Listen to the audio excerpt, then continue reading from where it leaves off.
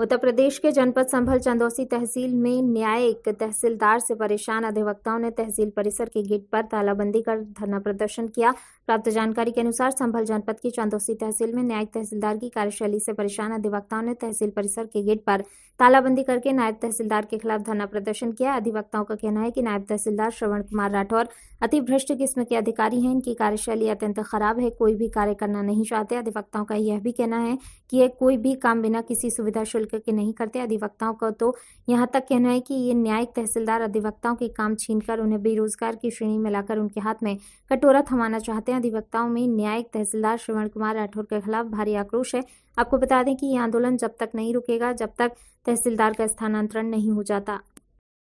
ये जो आपने तहसील परिषद चंदोसी में गेट पर तालाबंदी कर रखी है किन मांगों को लेकर कर रखी है? ये हमारे एक सूत्रीय मांग है।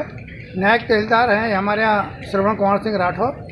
उनके विरोध में ये हड़ताल हमने तालाबंदी की है। और ये तालाबंदी तब तक हमारी जारी रहेगी जब तक ये श्रवण कुमार जी यहाँ से उनका तबादला नहीं हो जाता है। इससे पहले कोई भी समझौता किसी किस्म का हमारा नहीं है।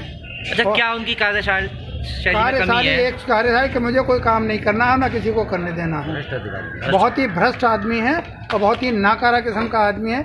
और यही नहीं ये यहाँ की चंदो जनपद संबल की तीनों तहसील में ये रहा है और तीनों तहसील में इसके खिलाफ जो आंदोलन हुआ और इसका बहिष्कार हुआ है। अब ये ये स्थिति है। आज 11 महीने हो गए हमें इनको जेल सारे प्रशासन के सारे अधिकारियों को हमने सूचित कर रखा है। डीएम साहब कमिश्नर साहब लेकर कोई सुन रहा नहीं। मजबूरन होकर हमें ये तालाबंदी करनी पड़ी है। और ये तालाबंदी तब तक चलेगी जब तक इसका ट्रांसफ़र नहीं हो जाए। अच्छा राज्य मंत्री गुलाब देवी के प्रतिनिधि से भी आपकी बात हुई है तो जी हाँ हमारी उनसे भी हुई है वो भी गए हैं उन्होंने भी डीएम साहब से अप्रोच किए लेकिन बता रहे हैं अभी हम बताया था कि वो डीएम साहब छुट्टी पर हैं। एडीएम साहब वो लौट के आते हैं तब फिर कोई निर्णय लिया जाएगा। ये उनका वक्तव्य रहा। बैठे हैं? वो किन मांगों को लेकर बैठे हैं? देखिए, मांग तो सबसे पहले ये है कि भ्रष्टाचारी अधिकारी से तहसील मुक्त हो। सबसे बड़ी मांग तो यही है। इनके छोटे छोटे काम भी है। अब किसान आता है नोट नोटूज लेकर उस पर अभी दस्तखत नहीं करना चाहते। अरे, साहब, तहसीलदार साहब से कराओ। कि उससे कराओ, कि उससे कराओ। मतलब ये छोटी छोटी मांगे हैं इनके लिए तो अब यहाँ कोई इस समय अधिकारी नहीं है तो किससे कराएँगे? ना यहाँ ना बैठे हुए हैं नायक साहब तो उन्हीं के पास तो जाएँगे। ये तो केवल यही चाहते हैं कि यहाँ कोई काम ना हो वकीलों के हाथ में कटोरा और दे दिया जाए। भाई वहाँ रखा है सारी। तो- इसीलिए इन्हीं के ऊपर संचालन में चलती है।